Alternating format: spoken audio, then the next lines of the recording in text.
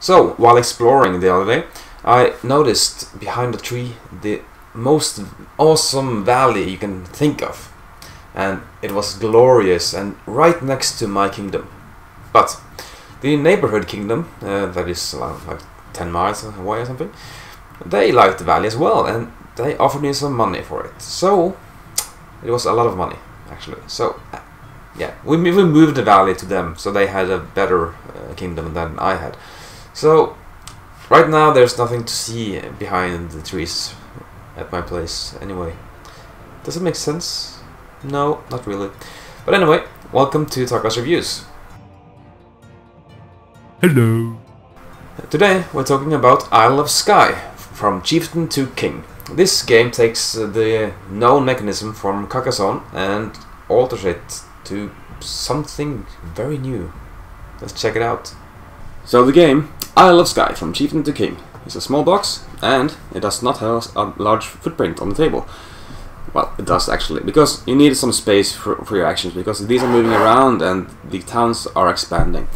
But notice, the towns, or the uh, kingdoms, are their own. So you have your kingdom to worry about, and the other players have their kingdom to worry about. So you can't mess with other players.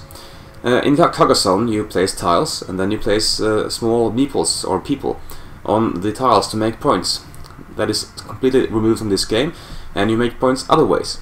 Also, you can bargain about the pieces. You can sell them to other players, or rather, they will buy it from you. I have to explain that rule, uh, but first, let's see what makes points in this game.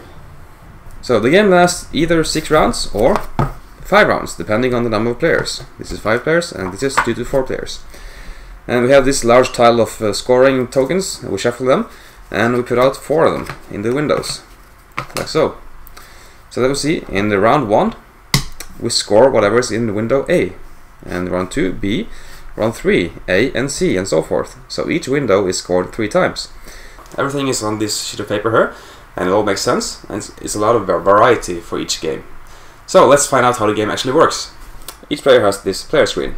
That is to hide whatever you have behind here. Each player also has one of these axe tokens that you can axe away a piece. So, uh, on every round, each player draws three tiles and places them in front of them. So we do, we do this at the same time. And I choose this axe to point at one of the pieces. That piece is going to go back, uh, away.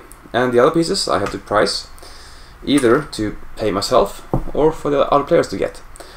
So, at the same time, we reveal Okay, I axed this piece, it goes back in the bag with other pieces as well. Now, these pieces are for sale.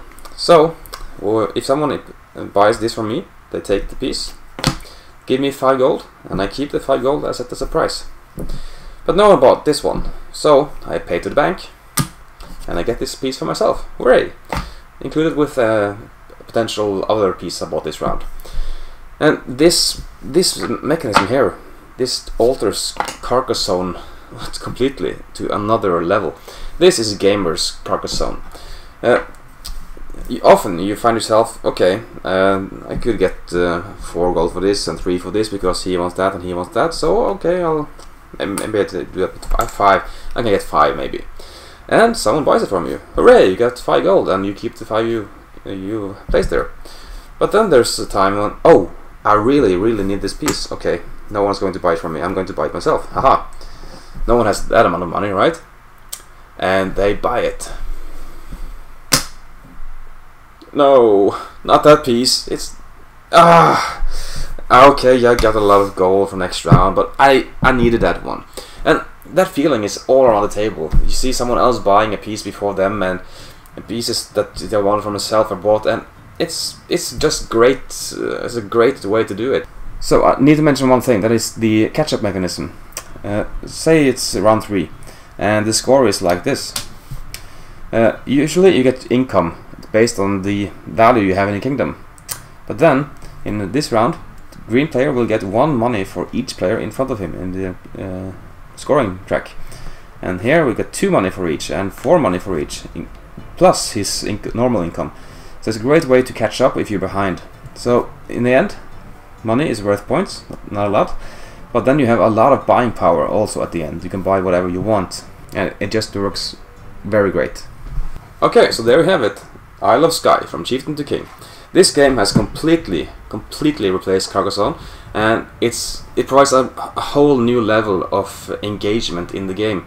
In Carcassonne, you play tile and you score points with the meeples, and it wears thin uh, during the game. But in this game, it's always interesting, especially in the later rounds when you start seeing what people are going to score for and these windows here. And the dynamic is extremely good. I like the game a lot, so run and buy it. Come on, are you still watching? oh, okay, it's a bit extreme, but this game is a lot of fun. I do enjoy it a lot, and I've played it many times already, and it just came out, so yeah, it's varied scoring points, varied players, and everything just works very well. So there's my definite recommendation. I love Skye. Okay, thanks for watching, and uh, if you like what I do, please check out my Patreon account, and uh, well, see for yourself. Okay, thanks for watching. See ya.